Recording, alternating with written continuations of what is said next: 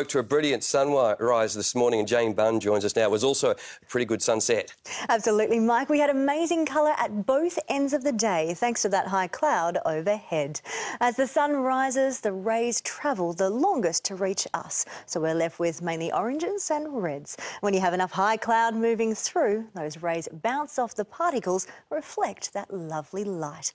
This morning's was especially pretty and long-lived as the next bit of cloud was just coming in. And it was nice to have a repeat performance as the sun went down tonight. We have the high cloud ahead of cold fronts passing by, but this setup also lets the wind increase.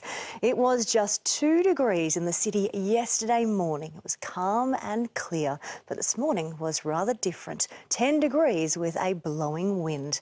And that wind meant that 8 degrees at the airport felt like minus 4. No more frost, but still feeling rather cold. The kiteboarders liked it, but the high cloud was just a bit of grey during the middle of the day. We reached a top of 14 and it's looking similar for tomorrow. I'll have the full outlook soon. Mike.